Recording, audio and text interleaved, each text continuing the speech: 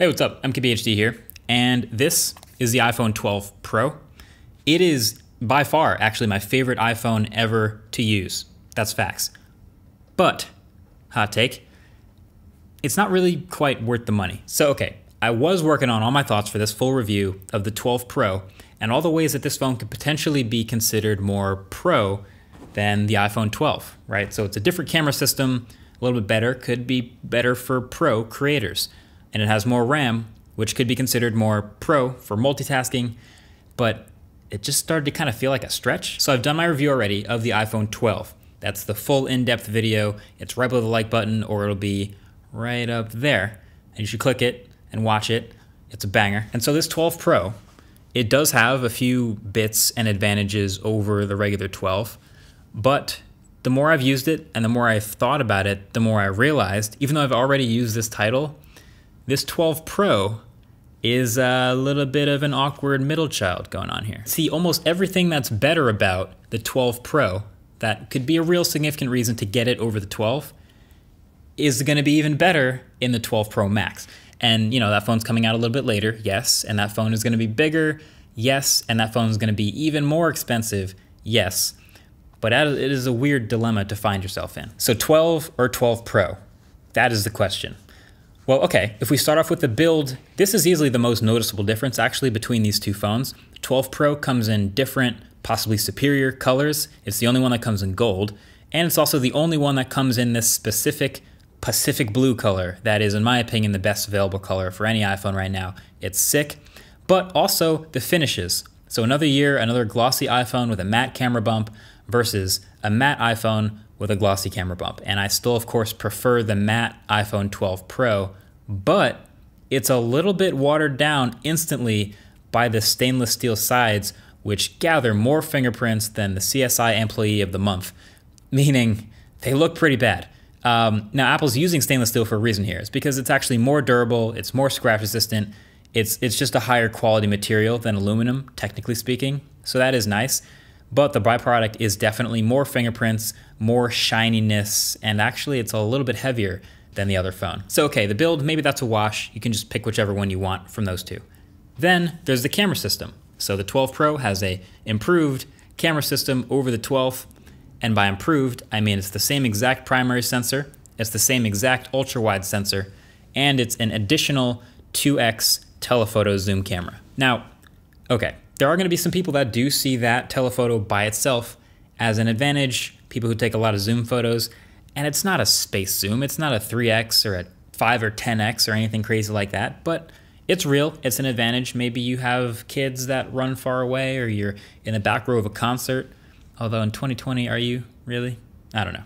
But it is real. I'm not going to get down on optical zoom. It is fine. You will notice crispier shots at and beyond 2x zoom in good light. But I am saying in good light for a reason. And that's because pretty much every smartphone that's ever had a second telephoto camera is using a worse, smaller, less light gathering sensor for the telephoto, and the iPhone's included in that. So when your lighting starts to get shady or a little bit dark or it's nighttime, turns out the phone smartly realizes that the main camera with the bigger sensor and this brighter f1.6 aperture is actually still capable of better zoom shots than the telephoto camera. So it just keeps using that main camera anyway as you zoom in. You can try it yourself. You can literally cover up the telephoto camera at night and typically everything still works the exact way you'd expect it to. So the extra 2x telephoto lens on the Pro, it's there. It's better sometimes in nice light for those telephoto shots, but it's probably not a reason by itself for you to upgrade, spend more money. However, if you do really care about a better camera system, the 12 Pro Max is coming out and it's going to have a bunch of things. It's going to have a bigger primary sensor for the first time in a while in an iPhone. That's a pretty big deal. And it also is going to have sensor shift autofocus, which is, you might have heard it called IBIS or in body image stabilization instead of in lens image stabilization in some mirrorless cameras. That should also make some pretty big improvements to low light shooting, handheld shooting, and maybe even video stabilization. So that's a lot. Oh, and by the way, the 12 Pro Max should also have a slightly longer 2.5x optical zoom on the telephoto for some reason. So this is the first year Apple's really divvying up the camera capabilities and only giving the best camera stuff to the big one. So I'm gonna be testing that and figuring out if it's all worth it. It should be on the channel here very soon, but I think it's safe to assume that that's where the real camera upgrade is going to be. So okay, build quality, pick your poison there. Extra cameras, not a huge deal. Then there's LiDAR. So there's this new little circle cutout down here at the bottom of the camera module that we first saw on the iPad Pro.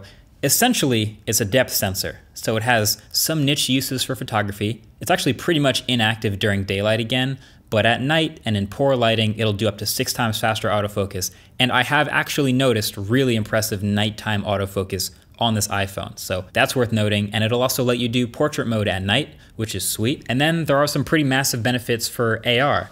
Now, augmented reality, you may or may not use that much at all. Depends on who you are. If you don't care, you don't care. If you're in the AR world, you kind of got to get this one. I'm using the Measure app as an example, but there's a pretty significant speed and accuracy improvement across everything AR related. Object permanence in space is way better.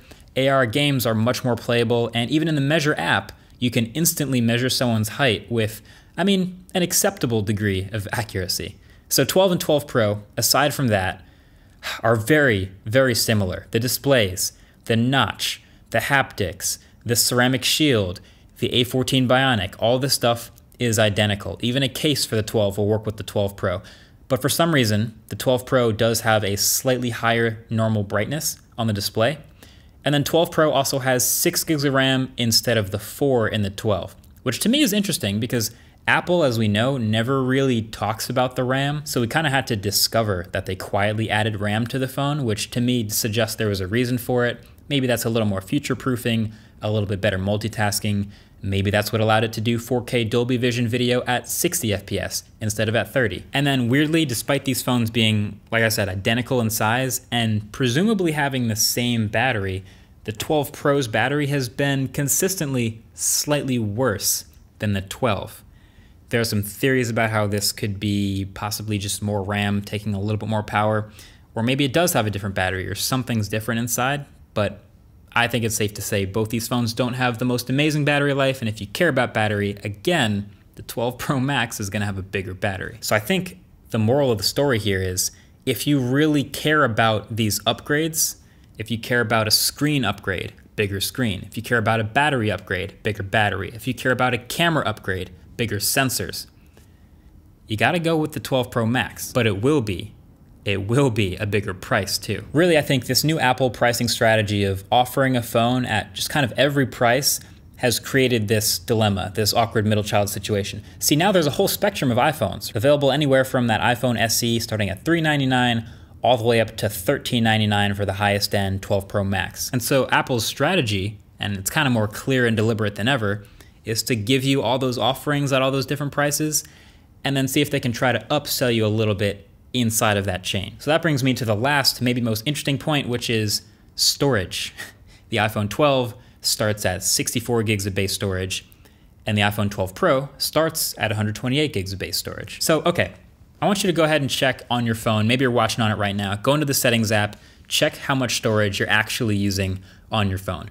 Maybe you're one of those people that's comfortably underneath 64 gigs. You only have 30 gigs of stuff on your phone. You'll have the phone for a few years and never hit 64 maybe you're one of those people. But I have a feeling most of you, especially if you're watching this video, aren't that person. You're probably sitting a little closer. I went in and checked on my phone. Let me go ahead and actually see it again. But I was up around 60 gigs of used storage, uh, currently at 52 gigs. And so if I'm gonna have this phone for a couple years, I'm gonna take a bunch of photos and videos, I can't get a 64 gig phone. I've gotta go immediately with 128 and when you pay that 50 extra bucks, that brings this phone to 879, which is closer to this 999. And so now you're thinking, well, it's only 120 bucks to the next leap. Maybe I'll just make the leap and get the Pro. So I would say my advice is to just make sure. Are you sure about that? Do you actually have good reasons to get the Pro? Because there's going to be people who are just going to get the Pro because it's it's the better phone. It's got the extra thing. It's shinier. I'm going to get this one that's cool. Maybe even the better colors are a reason you'd get it. But if you're looking specifically to get the best value, to get the most phone for your money, and you're considering getting the Pro, I don't think it's a good buy. And I think you'd be better off waiting for the 12 Pro Max and possibly actually getting more phone for that money. Waiting for the review to see if that's actually worth the 1100 bucks it starts at. But now you know. Those are my thoughts on the 12 Pro in this world. The 12, that review is already up. Feel free to check it out. But that's been it. Thanks for watching. Catch you guys in the next one. Peace.